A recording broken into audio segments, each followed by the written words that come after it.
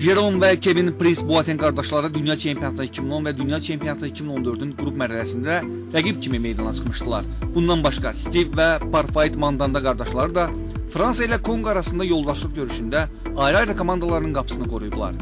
Daxili çempionatlarda qarşı-qarşıya gələn rəqib qardaşlar isə daha çox olsa da, Avrokuboklarda belə vəziyyət nadir hallarda yaranır. İndiki mövsümdə Avropa Liqasının 16-da 1 final mərhələsində azarkeşlər yenə qardaş qarşı durması gördülər. Çünki Paul Pogba'nın klubu Manchester United Florentin Pogba'nın komandası Saint Etienne ilə görüşürdü. Oyunu izləyənlər arasında qardaşların anası geyindiyi forma ilə diqqət mərkəzində idi.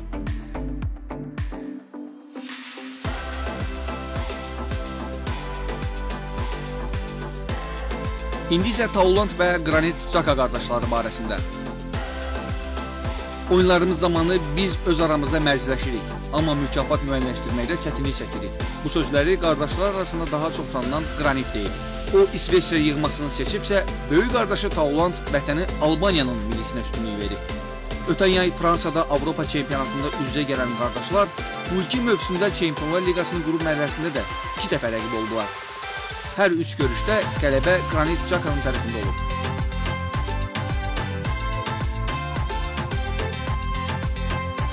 Thiago və Rafinha Alcantara qardaşları. Barcelonanın yetirdiyi istedadlı qardaşlar eyni yığmada oynamırlar. Thiago futbolçu kimi yetişdiyi İspaniyanın, Rafinha isə vətəni Braziliyanın formasını geyinir. Maraqlıdır ki, onlar 2 dəfə Çempionlar Liqasının yarı finalında üz-üzə gəliblər. İlk oyunda Thiago final sevinci yaşayıbsa, 2 ildən sonra Rafinha revanş edə bilib. Onların atası Braziliya yığması ilə dünya çempionatı 1994-ün qalibi olan Mazinho oğullarının qarşı durmalarını arzulamadığını söylüyor. Belə pişkatmalar mənim üçün arzu olunmazdı. Axı hər ikisi oğlumdur. Hansınınsa uğursuzluğunu görmək mənim üçün ağırdır. Gabriel və Diego Milito qardaşları 2009-2010-cu il mövsümünün Çempionlar Liqasının yarı finalında Barcelona Inter görüşündə qardaşlardan biri finala çıxmalı idi. İtaliyadakı ilk oyunu Gabriel ehtiyat oyunçular skamyasında izləyib. Cavab maçında isə onların hər ikisi meydana çıxıb və bir-birinə qarşı mübarizə aparıb. Diego'nun oynadığı Inter ümumi qələbəyə görə finala yüksəlib. Vətənləri Argentinada da qardaşlar bir neçə dəfə rəqib kimi qarşılaşıblar. Maraqlıdır ki, Diego'nun ilk və son klubu Racing olubsa, Gabriel də karyerasını başladığı Independiente komandasında bitirib. Diego meydana çıxanda qardaşlığı unutduğunu deyir.